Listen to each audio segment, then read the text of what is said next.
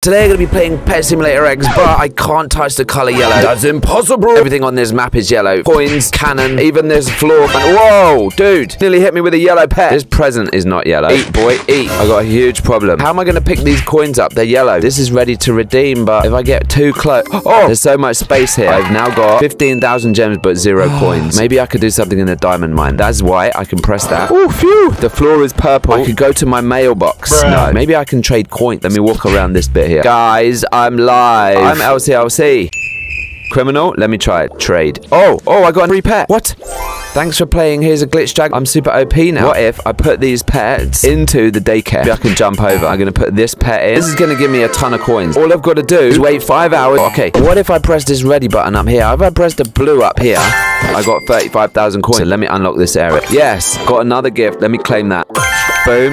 Maximum coins. Yes, we want to unlock this area.